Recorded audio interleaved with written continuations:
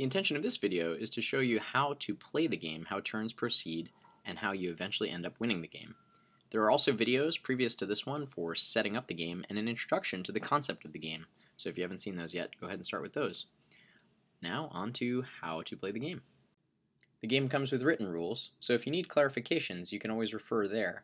In addition, we have a user forum and FAQ page at www.gbohawaii.com, where you can also find any additional information you might need for gameplay. Each player, when starting their first turn, gets a chance to survey the field. They can look at available businesses and the cards in their hands, and then decide which county on the map they're going to start their player piece in. If you have the human resources that match up with one of the available businesses in a particular county, you might want to just go ahead and set up shop there for your first turn.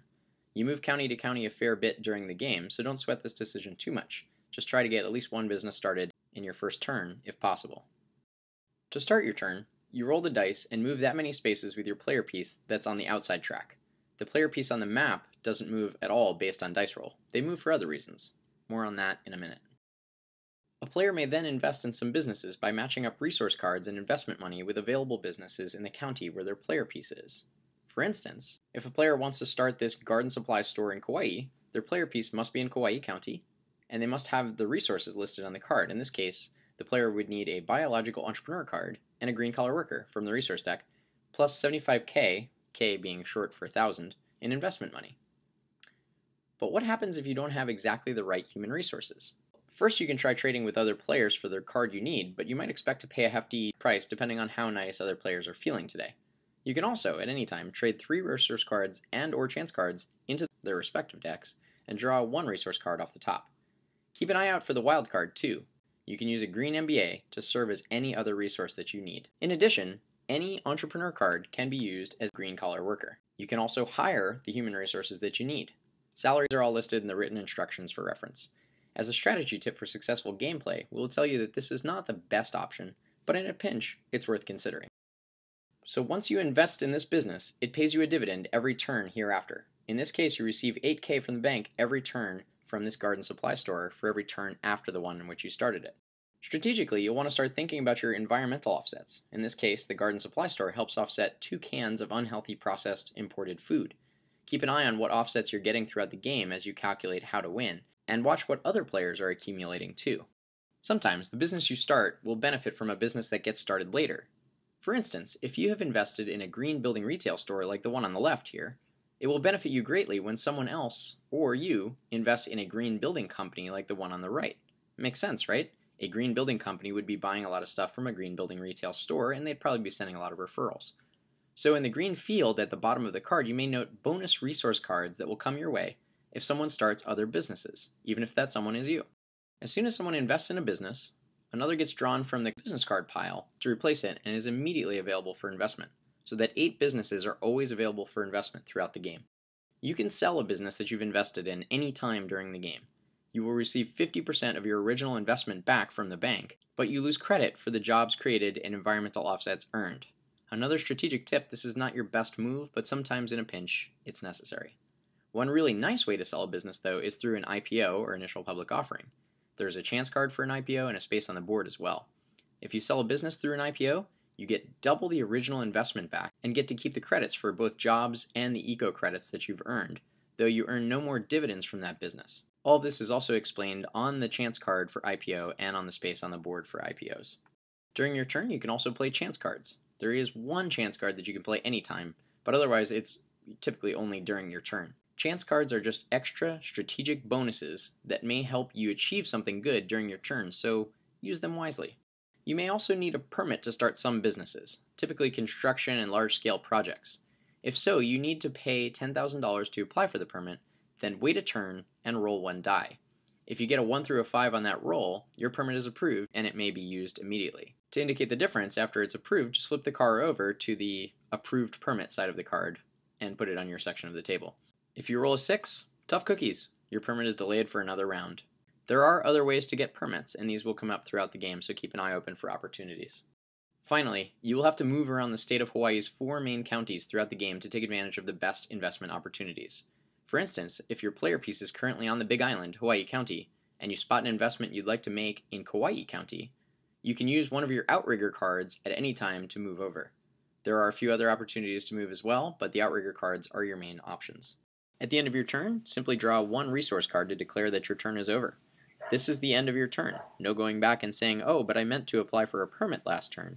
Nope. As soon as you grab that resource card, your turn is officially over and the next player's turn has begun. The player that first reaches one of the black policies and event spaces on the board stops there regardless of what they roll, and flips over the policy card at that spot and puts it into play. That policy card stays active for the rest of the game unless otherwise noted on the card. After the policy card has been played, players may bypass that space. And remember, anytime someone rolls a 7, you draw an event card off the top of the deck. Immediately put that event card into play. In this case, if you draw the card that says Biotech Company sues local farmer for allegedly stealing their genetically modified seeds, everyone on the board has to band together to fight off the lawsuit if they have a sustainable food business. This is something that's very different than a policy because it happens in a very discrete manner. It happens and then it's done. So the event cards are played and then discarded, whereas the policy cards stay active for the rest of the game unless otherwise noted on the policy cards themselves. The first player to reach the governor's campaign space stops on that space. This is an opportunity to help the sustainability friendly candidate win the governorship of Hawaii, but you're up against the oil industry's billions of dollars. They'd like to keep the status quo where all Hawaiians pay through the nose for electricity generated by burning foreign oil, and they know that chipping in for political campaigns is a great way to do that. So you must band together with other players in the green economy to contribute to the better candidate and then hope for the best. Read the rules on the board and good luck. Oh, did we mention the oil industry? Yeah, they're not super happy about this whole sustainability thing. Last year, Honolulu County tried to get a 5 cent fee levied on plastic bags, seeing as how our coral reefs are full of them, and we'd like the oil industry that created them to pay to clean it up, since that sort of thing hurts tourism, our main industry. The oil lobby didn't agree and absolutely descended on Honolulu, effectively bribing public officials by paying them quote unquote consulting fees, and eventually defeated the legislation. In this game, the lobbyists go wherever the oil industry sends them, generally wreaking havoc everywhere they go. Whichever county the lobbyists are in, dividends for all sustainable businesses are cut in half. Several cards and spaces allow you or force you to move the lobbyists, so try to move them away from where your investments are. Only the person that has that card or lands on that space is allowed to decide where to move the lobbyists. There are no bribes of other players allowed in GBO Hawaii. And oh, just as a quick aside, the oil industry lobbyists make a great costume. This is from Halloween 2011.